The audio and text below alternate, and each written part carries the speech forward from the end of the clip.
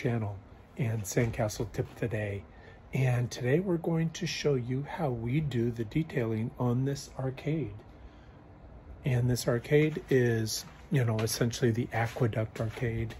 And it's going to be very ornate and very organic, which is kind of cool. And it's essentially the body of the water goddess. Stick with us, see how this turns out. Here's the very beginning of the very top of the aqueduct. And I've scored the surface here and I'm gonna pinch on wet sand to create the completion of this capital detail. And I have created this score line underneath to create like a top cap. And I've created a trough because the aqueduct actually had a trough to transport the water. So I'm trying to create some reality or realness to it too. And I'm gonna let the base of this just dry out another day or so. I've been putting dry sand at the base to essentially soak up and firm up the sculpture before I pull out the plywood supports and actually make it freestanding. I'm hand pinching sand to create this um, detail, kind of a marble-like detail and then shaving it to its final shape. And it's turning out pretty cool. I think she's coming along. I'll have to study it a little bit and make sure I'm liking where it's headed and that I'm adequately getting the transition between the aqueduct and her. Interesting, I want it to be interesting. I like the energy she has I've decided to meld the lower part of the aqueduct into her back. And I think that's a, a pretty interesting look. And I'm gonna explore that for a little bit and see how it turns out. So I've got her crown looking pretty interesting. I've got some nice cut through and I'm showing her hair coming into her head through the crown, which is a beautiful look. I'm gonna let this arch dry um, and before I cut it out because of the kind of minor collapse I had over here, I'm gonna be able to recover. I'll figure that out. And as long as I don't have any more collapses, I think this is still moving in a great direction.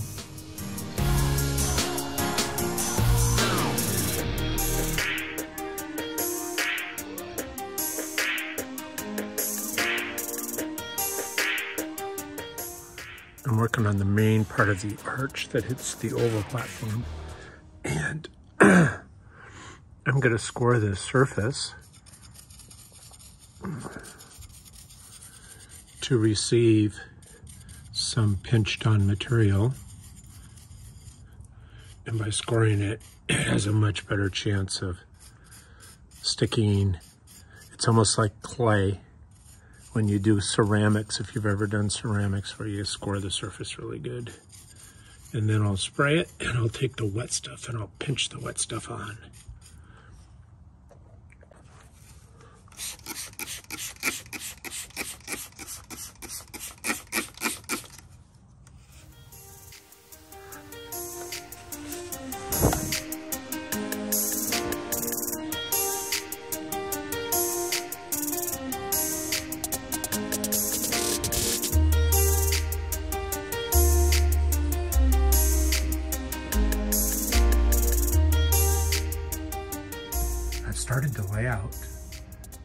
Brick and block detail where the aqueduct is. And I'm really pretty darn excited about it. It's gonna be amazingly cool.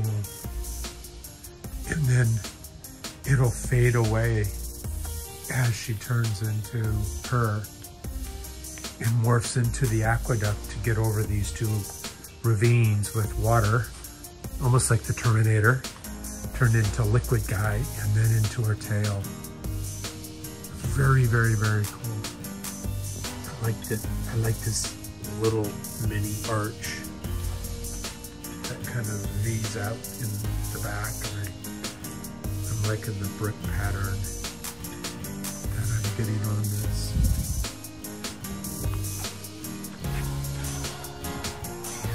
As you go further back, you get this very aqueduct feeling how I transition it into our body is going to be a lot of fun. Very, very cool.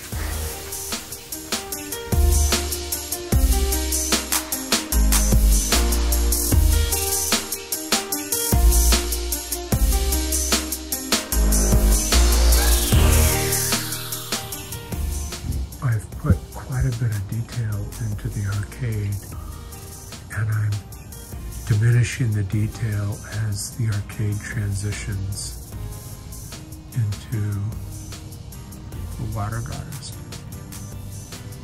The hum humanoid part in the front.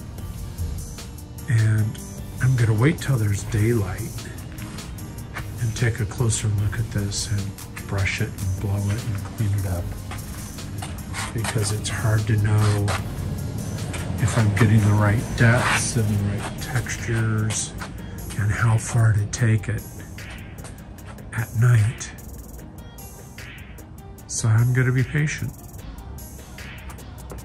and see what it looks like in the morning. To work on her necklace and earrings tomorrow. And some more on transitioning the duct, aqueduct or architecture into her body. And then I think the biggest push needs to be to start to get the tail going so that I can start to see the whole thing and understand how to solve this last arch related to the tail. She's your supervisor. She's our supervisor, Scruffy Building Department Inspector and Safety Inspector too, Sharon. Absolutely, safety. Yeah, Very and important when it comes to a bridge. that's right. We don't want to collapse. And we've got this all ready to start to figure out how the tail's going to incorporate into our underwater goddess. It's looking good. I'm happy. Are you happy? Oh, it's beautiful. Yes. Thank very. you, Sharon.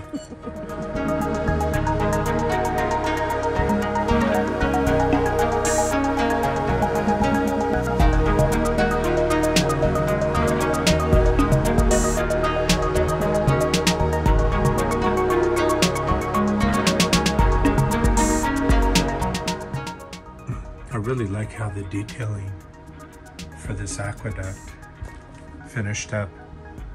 Um, no two blocks are alike, no two blocks are vertical or horizontal. So I literally didn't use a level for any of this. I've turned these kind of corbel details underneath the archway that gives it a real interesting look and very organic. And that was the goal is to have this arch really be a dynamic, uh, interesting element. It's where she emerges onto land and has to turn into kind of like a Terminator-like rigid structure. And when she goes back into water, she's got this beautiful tail. And when she goes back into water, she becomes her face and her kind of humanoid-like structure. And, and this arcade detailing really um, brings it all together and creates kind of the foundation to the sculpture. If you liked our sandcastle tip of the day on how we created the detailing on this aqueduct, remember to smash the like button. Remember to subscribe so you don't miss any of our upcoming content. We've got some fun stuff to be able to share with you. Can't wait to share it. Until next time, we'll see you soon. Bye.